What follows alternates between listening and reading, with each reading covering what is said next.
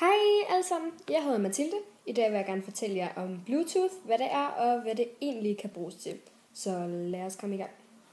Bluetooth er et trådløst system, der kan gøre det muligt for dig at lave et samarbejde mellem f.eks. din iPhone og din iPad.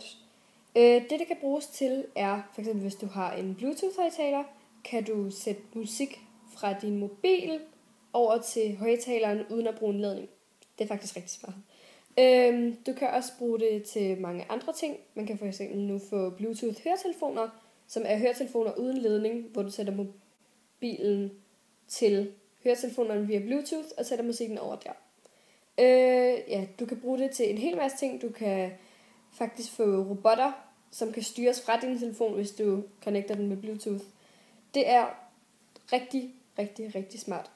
Øh, jeg bruger især meget, meget Bluetooth, når jeg skal arbejde med svæver, som for eksempel, det er nogle små, runde robotter, som du kan få til at køre via din mobil, hvis du connecter den med Bluetooth. Øh, jeg synes, at Bluetooth det er rigtig, rigtig sejt, fordi der er enormt mange muligheder, og det gør på alle måder bare dit liv meget lettere.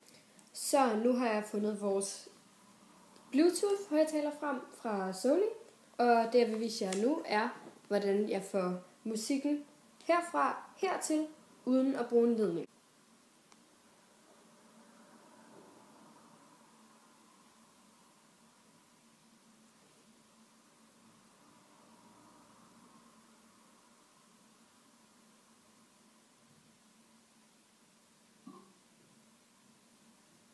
Det jeg har gjort nu, er, at jeg har slået Bluetooth til på min telefon, fundet navnet på højtaleren og tilsluttede den hertil.